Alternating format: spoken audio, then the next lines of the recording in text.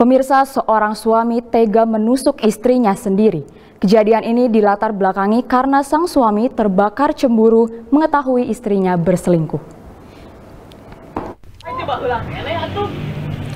Entah apa yang ada di pikiran pria bernama RO yang berusia 35 tahun ini. Dirinya tega menusuk istrinya sendiri, Rina. Pelaku melakukan penusukan pada Kamis lalu di sebuah gang di Jalan Manglid yang berada di Kecamatan Margahayu, Kabupaten Bandung, Provinsi Jawa Barat.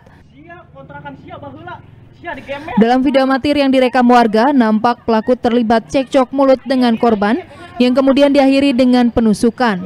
Sontak kejadian ini pun viral di media sosial.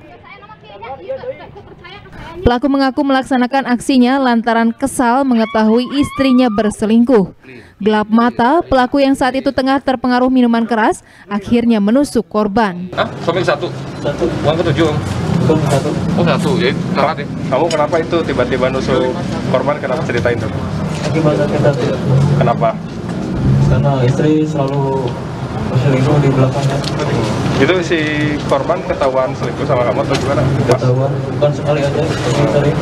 Terakhir itu? Yang terakhir yang itu kejadian yang kemarin. Berarti kamu udah persiapin ya pisaunya ya? Juga Kenapa itu dibawa di kamu? ya eh, apa, jualan, tukang jualan. Hmm, tapi itu dibawa di dalam jaket ya? Iya, Itu spontan atau udah diniatin? enggak, enggak. Cuma saya eh, minum Oh, lagi mabuk ya?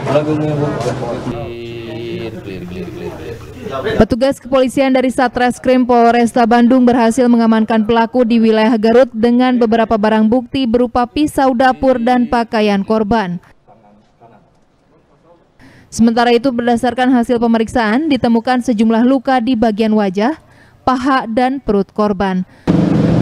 di mana si korban dengan inisial RM ini pada saat eh, apa saya ulangi ini pelaku dengan motif sakit hati karena cemburu melihat korban yang notabene adalah istri sirinya ini berboncengan dengan laki-laki lain. Nah, Kira-kira motifnya itu.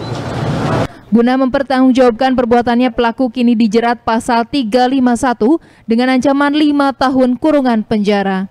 Rezitia Prasaja, Bandung TV.